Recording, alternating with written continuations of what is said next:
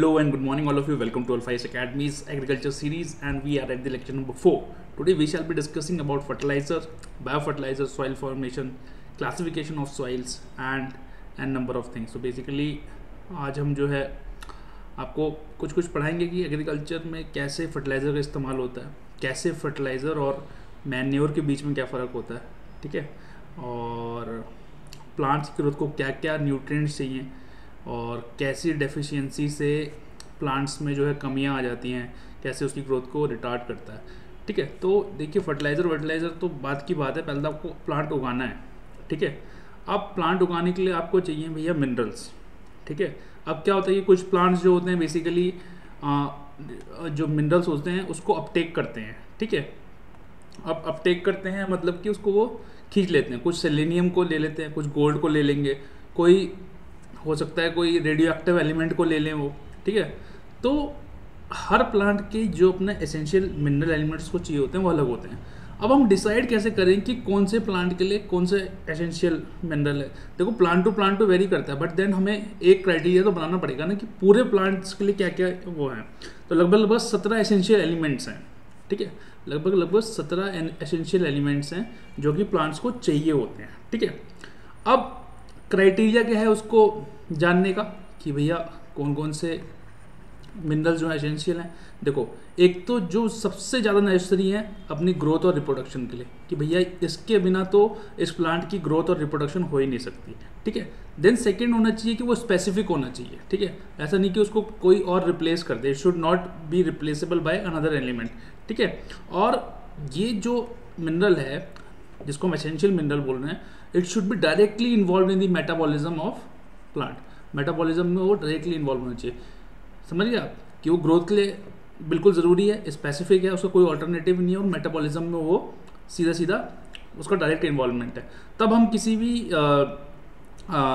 Mineral को जो है एसेंशियल बोल देंगे। अब देखिए मिनरल्स को भी जो है हमने दो पार्ट्स में डिवाइड कर रखा है। Macro nutrients and micro nutrients देखो मैक्रो न्यूट्रिएंट्स जो होते हैं, वो लार्ज क्वांटिटीज़ में चाहिए होते हैं। माइक्रो न्यूट्रिएंट्स हैं जो स्मॉल क्वांटिटीज़ में चाहिए बट ये ऐसा कुछ नहीं है कि माइक्रो न्यूट्रिएंट्स ज़्यादा इंपॉर्टेंट है और मैक्रो नहीं है और या मैक्रो ज़्यादा इंपॉर्टेंट है और माइक्रो नहीं है। दोनों ही बहुत इंपॉर्टेंट है। बट देन जो लार्ज अमाउंट्स में चाहिए होते हैं उसको हम लोगों ने मैक्रो न्यूट्रेंट बोल दिया और जो आ, कम अमाउंट में चाहिए होते हैं उसको हम लोगों ने माइक्रो न्यूट्रेंट बोलते हैं देखो माइक्रो न्यूट्रेंट्स में क्या है? बेसिकली कार्बन हाइड्रोजन ऑक्सीजन ये तीनों सबसे ज़्यादा चाहिए होती हैं। कौन कौन सी? Carbon carbon hydrogen and oxygen ठीक है? ये सबसे ज़्यादा चाहिए होती है। और कौन कौन से major nutrients nitrogen phosphorus sulphur potassium potassium calcium magnesium ठीक है? देन माइक्रो न्यूट्रिएंट्स की बात करें तो manganese copper molybdenum, zinc, boron, chlorine, nickel, ये सब जो है माइक्रो न्यूट्रिएंट है। देखो, अब जब सबसे ज़्यादा आप कंफ्यूज होंगे, इसमें आयरन में होंगे। ठीक है? आयरन क्या है? कमेंट बॉक्स में बताओ मुझे मैक्रो है या माइक्रो है? यस माइक्रो है। माइक्रो न्यूट्रिएंट है। ठीक है? क्वेश्चन गलत मत करना। मेरा क्वेश्चन गलत हो चुका है एक बार क्योंकि। ठीक है? देन अब होता क्या है कि अब ये एसेंशियल मिनरल एलिमेंट्स हैं। अब भैया इनकी डेफिशिएंसी हो गई, इनकी किसी प्रकार से कमी हो गई। तो क्या हुआ? प्लांट प्रॉब्लम में आ जाता है। जब प्लांट प्रॉब्लम में आ जाता है तो होता क्या है? उसको क्लोरेस हो जाता है। क्लोरेस मतलब क्या होता है? आपने देखा कि कभी कभार पत्ते जो है येल्लो पड़ने शुरू हो जाते हैं। ठीक है? तो क्या होता है? लॉस ऑफ़ क्लोरो क्लोरोसिस क्या होता है? लॉस ऑफ़ क्लोरोफिल ठीक है? लॉस ऑफ़ क्लोरोफिल को ही क्लोरोसिस बोलते हैं। उसमें क्या होता है? येल्लो कलर हो जाता है लीव्स का। जैसे अगर नाइट्रोजन की कमी हो जाए पोटेशियम की कमी हो जाए मैग्नीज की आयरन की मैग्नीशियम की जिंक की मोलिबेटिनम की तो क्लोरिस हो सकता है।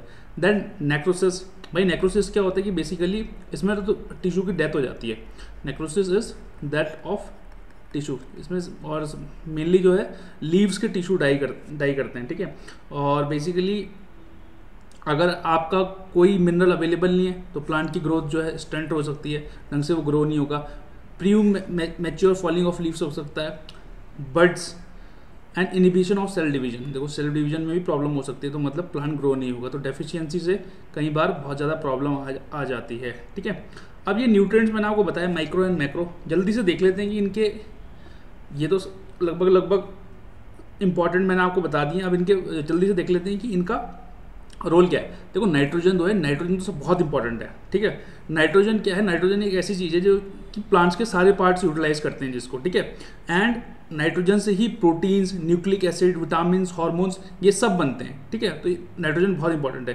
देन फॉस्फोरस की बात करें अगर हम तो फॉस्फोरस से क्या बनता है? Cell membranes cell proteins nucleic acids, सारे के सारे न्यूक्लिक न्यूक्लिक एसिड्स में प्रोटीन होता है ओ सॉरी फॉस्फोरस होता है, ठीक है? सारे के सारे न्यूक्लिक एसिड में फॉस्फोरस होता है। न्यूक्लियोटाइड्स जो होते हैं, वो फॉस्फोरस से बनते हैं। तो फॉस्फोरस की अपनी इंपॉर्टेंस है। देन पोटेशियम की बात करें तो देखो, अब नोट्स में आ जाओगे ना तो बेसिकली वहाँ पर आपको ये सबसे जो हमने फ़र्स्ट लाइन लिखी कि किस फॉर्म में, किस फॉर्म में एब्जॉर्व करता है प्लांट वो लिखा हुआ है। But then it is important एक बार उसको देख लेना।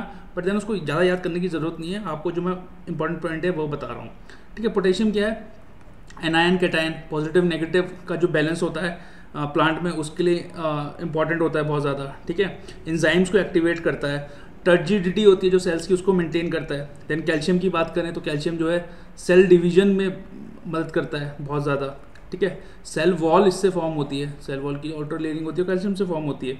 देन मैग्नीशियम की बात करें तो ये स्ट्रक्चर ऑफ़ क्लोरोफिल बनाता है, ठीक है? स्ट्रक्चर ऑफ़ क्लोरोफिल जो होता है मैग्नीशियम से ही बनता है, ठीक है? जो राइबोसोम का स्ट्रक्चर होता है, उसमें मैग्नीशियम मदद करता है। देन सल्फ़र की बात करें तो सल्फ़र एक्चुअली दो अम्यूनो एसिड होते हैं। एक होता है सिस्टीन और एक होता है मिथियोनाइन ठीक है? सिस्टीन एंड मिथियोनाइन इसमें जो है बेसिकली सल्फ़र पाया जाता है। देन आयरन की बात करें तो ये एक माइक्रो न्यूट्रेंट है बट देन प्रोटीन को, हमारी बॉडी में भी जो प्रोटीन है, उसे बनाने के लिए आयरन चाहिए होता है। ऐसे ही प्लांट्स में जो प्रोटीन है, उसको बनाने के लिए जो है आयरन की ज़रूरत होती है, ठीक है? और ये इंजाइम्स को भी एक्टिवेट करता है। क्लोरोफिल को फॉर्मेशन में मदद करता है। फॉर्मेशन ऑफ़ क्लोरोफिल में जो है आयरन मदद करता है। ठीक है? फॉर्मेशन ऑफ़ क्लोरोफिल ठीक है, अब मैग्नीज की बात करते हैं। देखो मैग्नीज में क्या होता है? Basically photosynthesis respiration nitrogen metabolism में मदद करता है मैंगनीज ठीक है? मैंगनीज का जो सबसे इंपॉर्टेंट काम है, देखो, ये एक्चुअली जो वाटर होता है ना एच टू उसको स्प्लिट करता है ऑक्सीजन को रिलीज़ करता है एटमॉस्फेयर में, ठीक है? यही मैंगनीज से ही होता है। अगर मैंगनीज हटा देंगे तो शायद वाटर की स्प्लिटिंग ना हो पाए, ठीक है? एच और ओ में स्प्लिट करता है वो कहाँ चले जाती है? एटमोसफेयर में तो यही से आपको ऑक्सीजन मिलती है। देन जिंक की बात करें तो एक ये ऑक्सीजन होता है, उसके सिंथेसिस में काम आता है। देन कॉपर की बात करें तो ओवरऑल मेटाबॉलिज्म में ये बहुत इंपॉर्टेंट होता है। ठीक है? देन बोरोन की मैं बात करूँ तो बेसिकली मेम्ब्रेन फंक्शनिंग पोरल जो पोनल पोलिन जर्मिनेशन होता है, उसमें मदद करता है। ठीक है? और cell elongation cell differentiation cell में बड़ा मदद करता है बोरोन बोरोन ठीक है?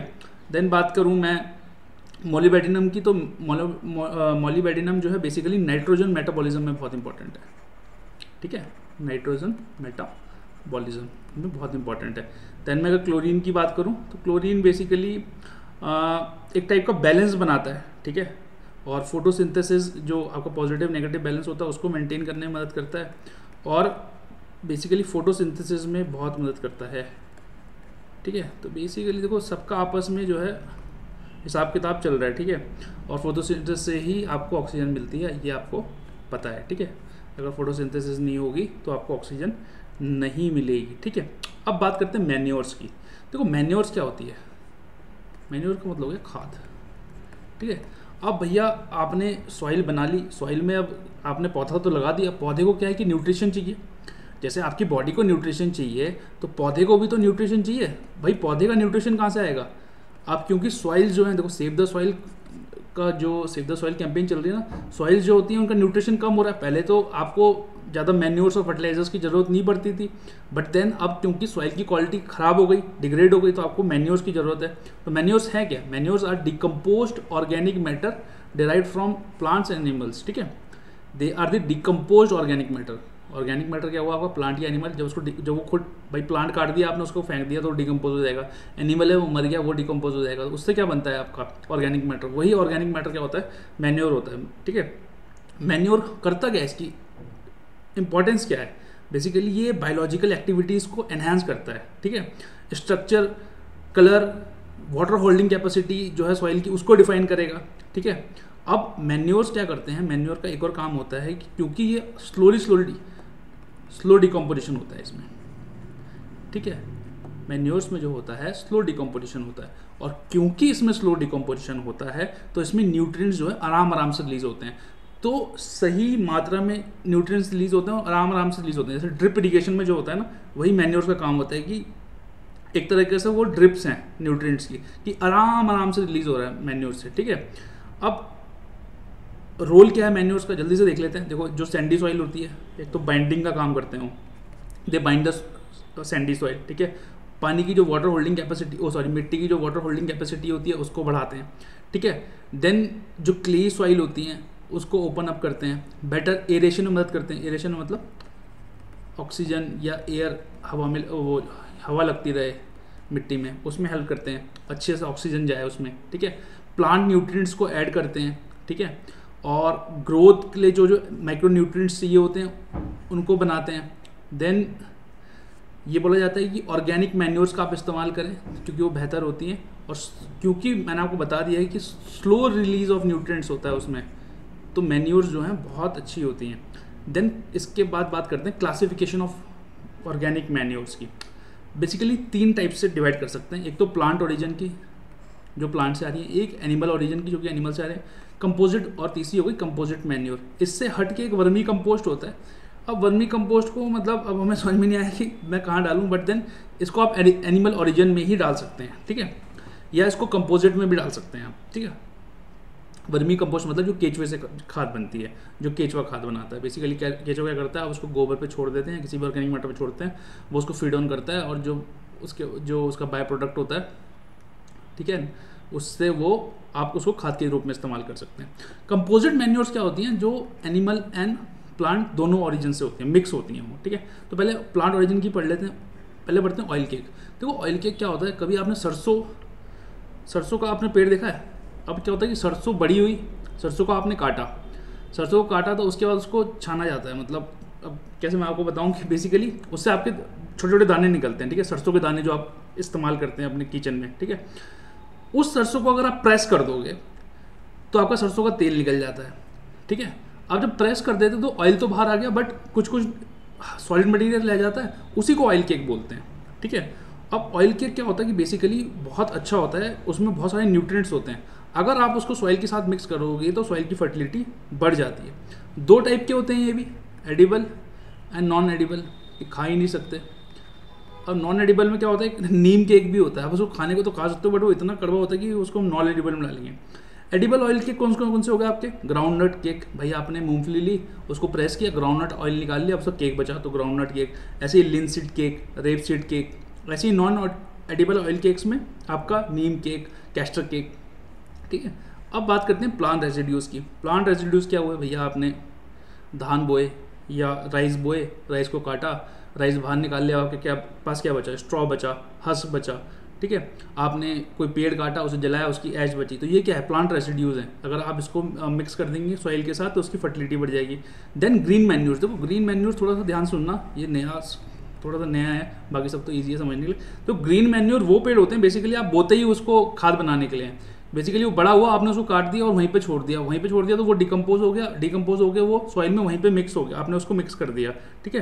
तो बहुत अच्छे ग्रीन मैन्योर जो होते हैं। बेसिकली ग्रीन क्रॉप्स या ग्रीन मैन्योर क्रॉप्स भी बोलते हैं उनको। ग्रीन क्रॉप्स जो कि आप उगाते हैं किस चीज़ के लिए हैं? बेसिकली डिकम्पोज करने के लिए सॉइल की फर्टिलिटी बढ़ाने के लिए। Then manures of animal origin की बात करें तो बेसिकली जो उनका स्लज है ड्राइड ब्लड है नाइट सॉइल है, ठीक है? बेसिकली उसको आप मैन्योर के रूप में इस्तेमाल कर सकते हैं। ऐसी एनिमल्स का हो गया देन फ़िश का मैन्योर आप इस्तेमाल कर सकते हैं। फ़िश का या एनिमल का बोन इस्तेमाल कर सकते हैं आप, ठीक है? आप cattle dung urine sheep dung ewe dung and urine को मिक्स करके पिग मैन्योर पोल्ट्री मैन्योर इस सबको आप कैसे, इस सबको एज आ आप मैन्योर इस्तेमाल कर सकते हैं।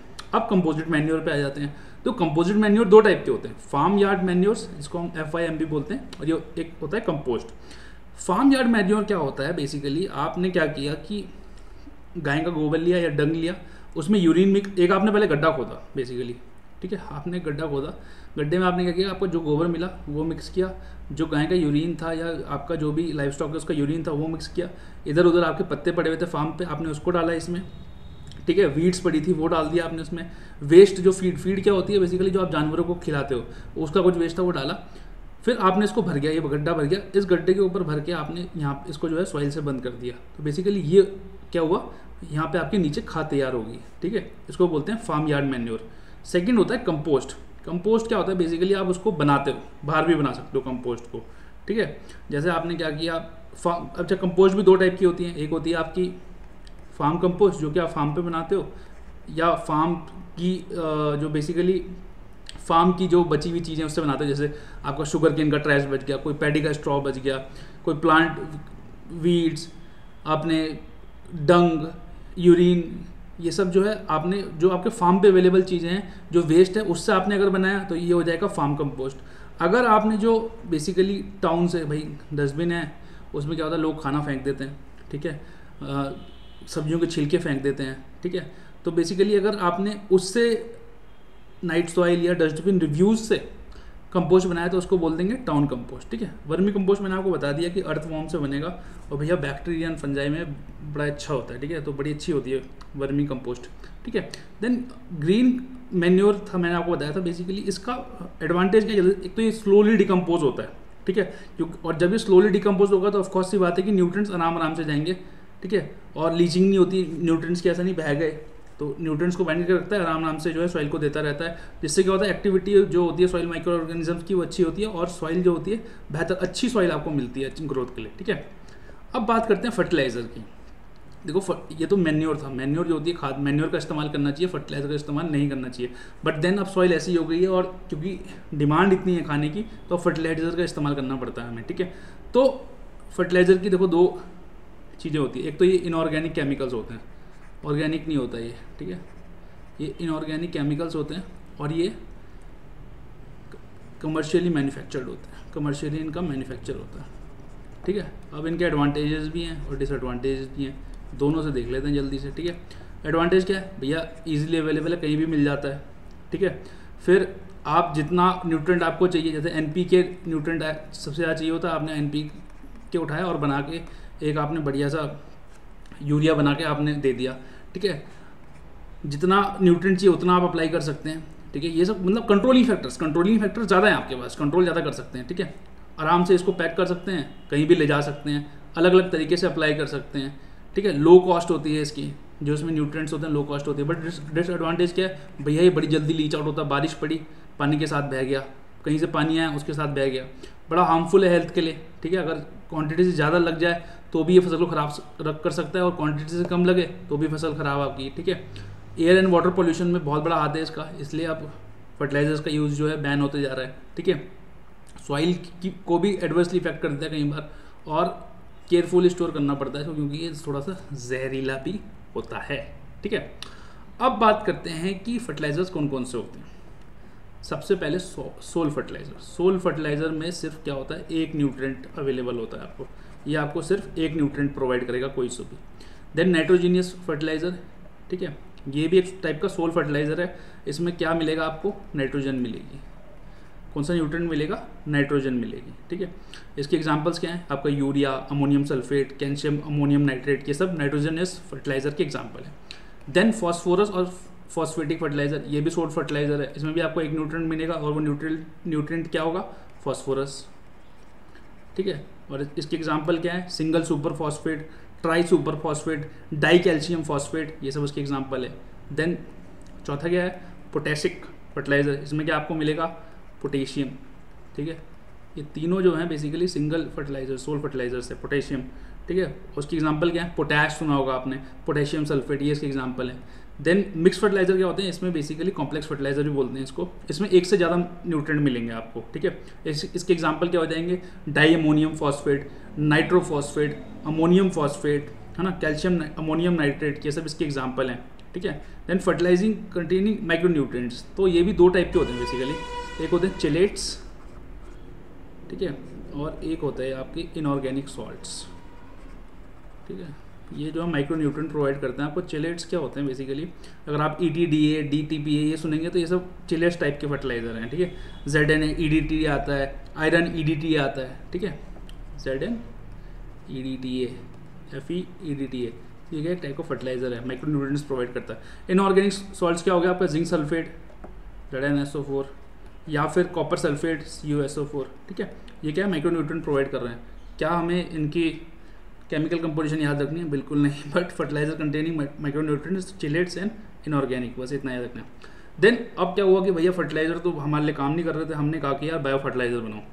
अब जहाँ बायो आ गया, जहाँ बायो आ गया आपके पास तो आपके पास मतलब वो फर्टिलाइज़र या वो प्रिपरेशन जहाँ पे कि माइक्रो ऑर्गेनिज्म है। आपके पास माइक्रो ऑर्गेनिज्म है। माइक्रो ऑर्गेनिज्म क्या क्या हो गया आपके पास? बैक्टीरिया फंजाई एंड एल्गी ठीक है?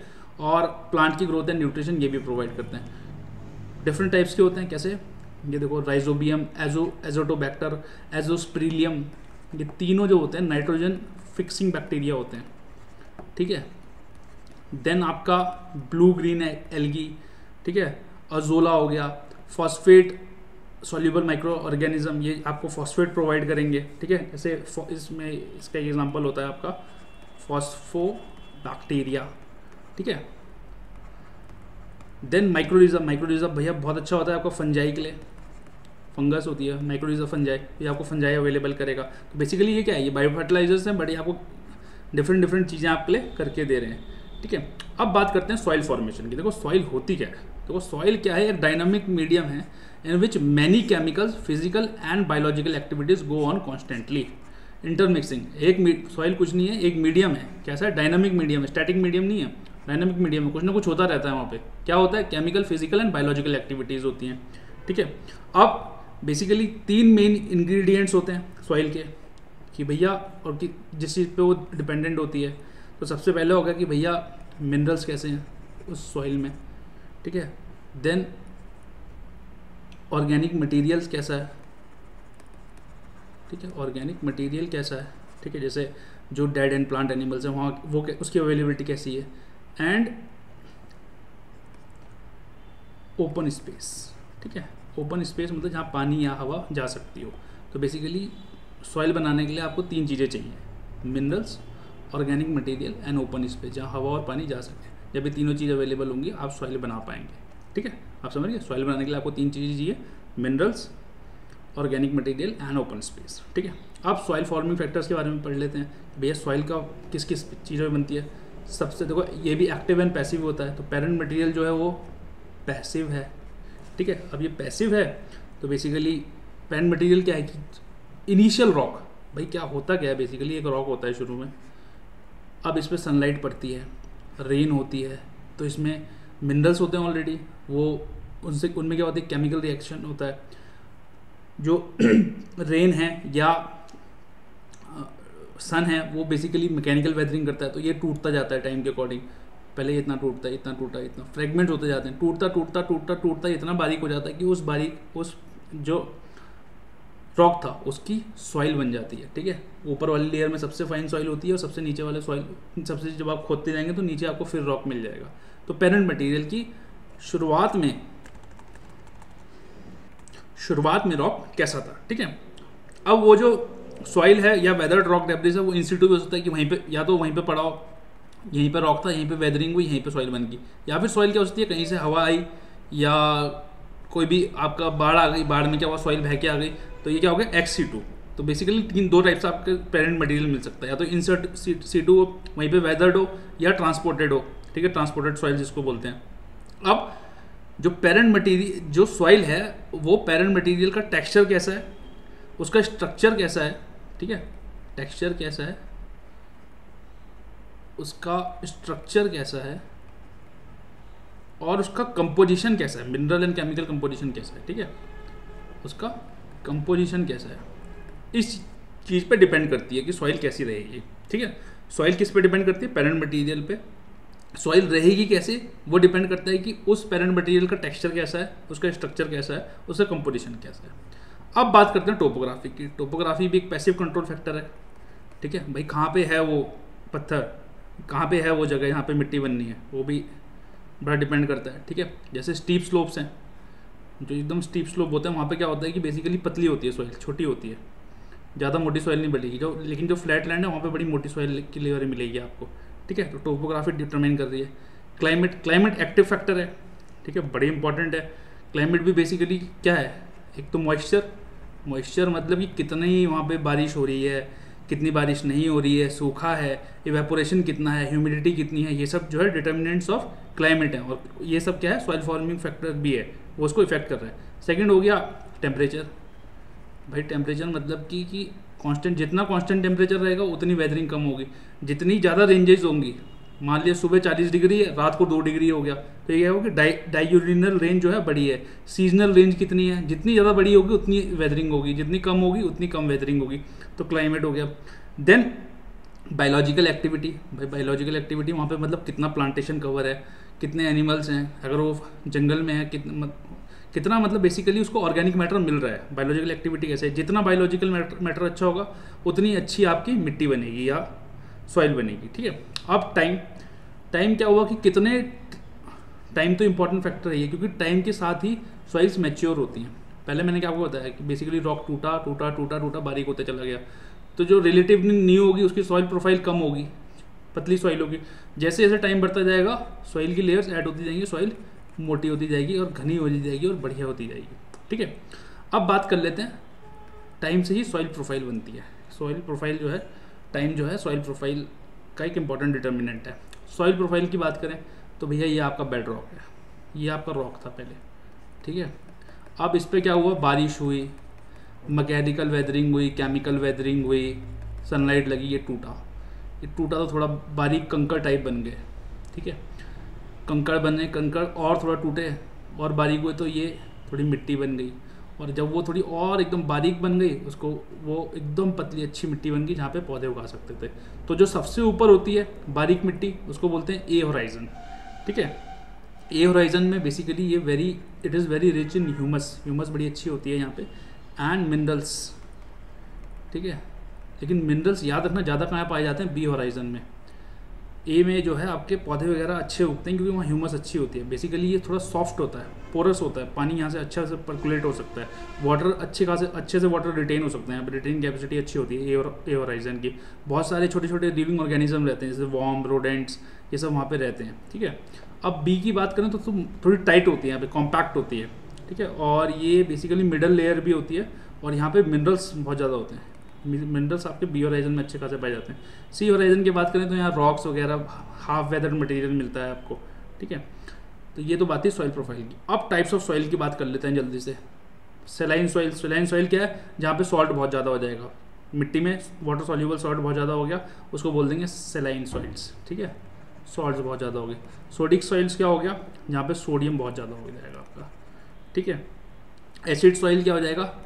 यहाँ पे सॉइल का पीएच जो है छः से कम हो जाएगा, ठीक है? जैसे अगर, या फिर सॉइल जो है potassium calcium molybdenum boron magnesium में अगर बोर हो जाएगी तो सॉइल एसिडिक हो जाती है। तो बेसिकली एसिडिक का मतलब पीएच लेस देन सिक्स हो गया। सैंडी सॉइल क्या हो गई? पतली हो गई, बारीक हो गई सॉइल टूट गई सैंड बन गया उसका, ठीक है? परकुलेशन बहुत ज़्यादा हो, होता है सैंडी सॉइल्स में। पानी एकदम, आपने पानी डाला, चार बाल्टी, आपको पता नहीं लगा पानी गया ठीक है? वाटर लॉस बहुत ज़्यादा होता है।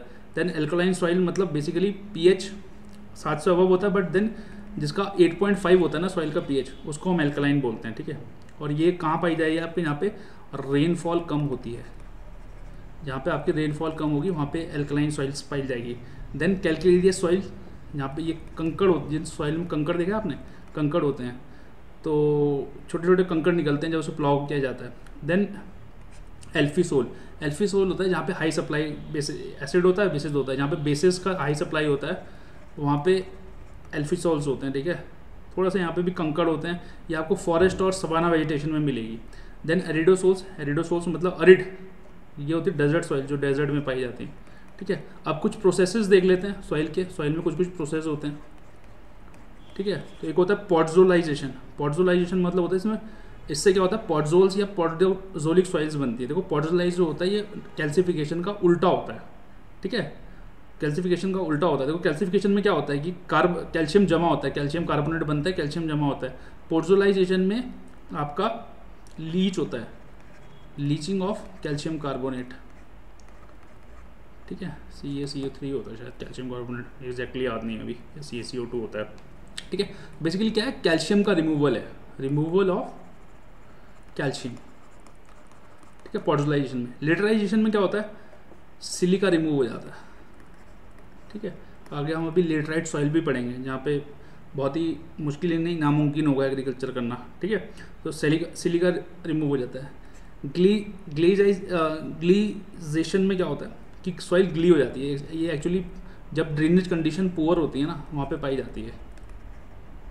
ये सॉइल जो है poor drainage conditions water logged conditions हैं वहाँ पे पाई जाती है।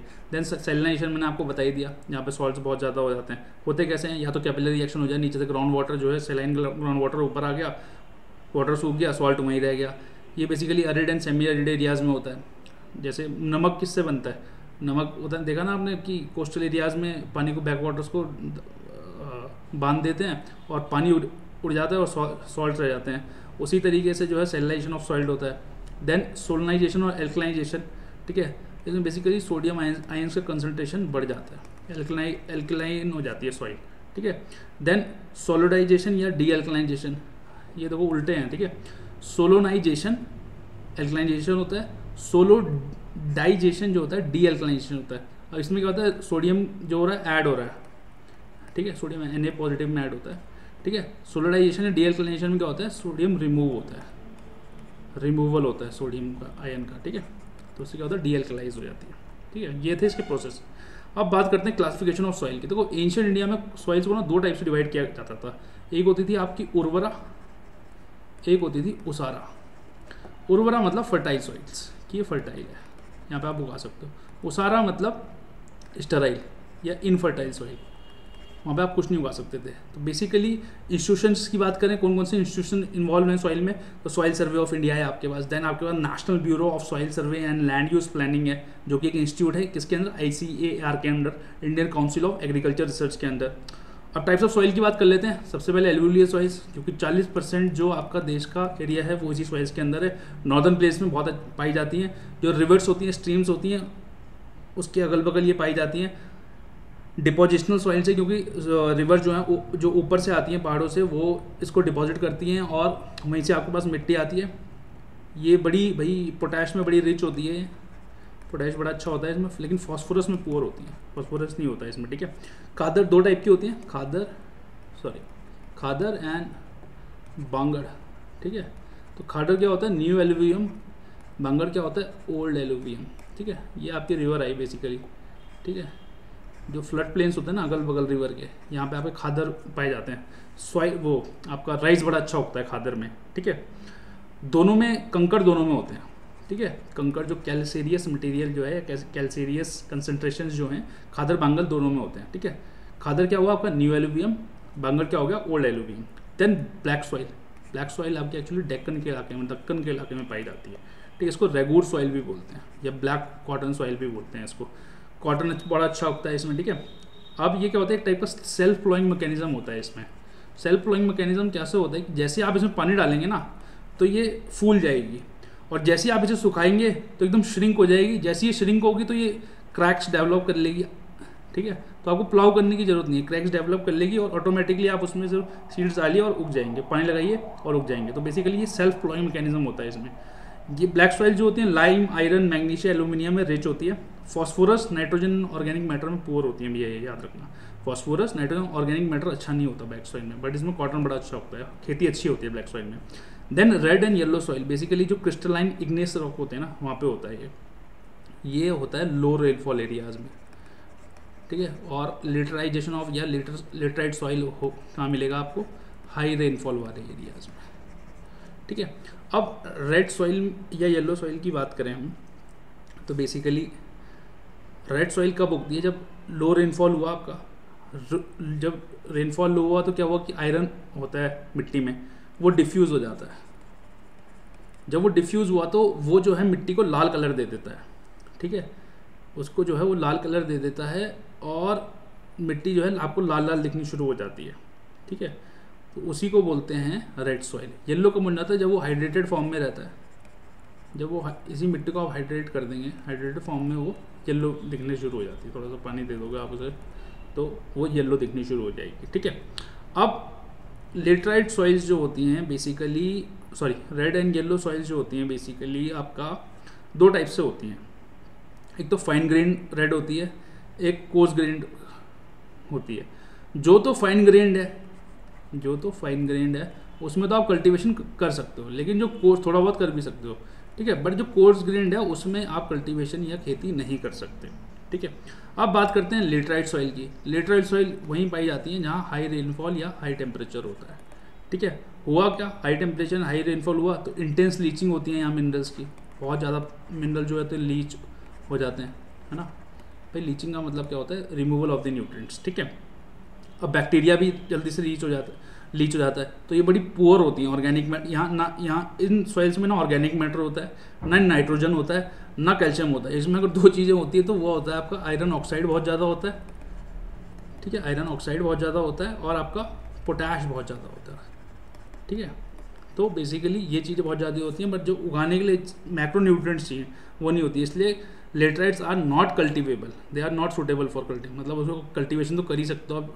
ताम झाम लगा के but then they are not suitable for cultivation फिर बात करते हैं अरिड सॉइल की। अरिड सॉइल कहाँ होंगे? यहाँ पे भैया सूखा होगा lack of moisture and humus होगा।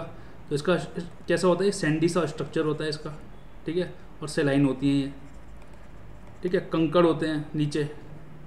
हाँ तो नीचे, लेकिन नीचे एक इसका एक फ़ायदा होता है। नीचे कंकड़ होने से क्या होता है ना, यहाँ पे पानी जमा हो जाता है। तो पानी ज़्यादा नीचे नहीं जाता।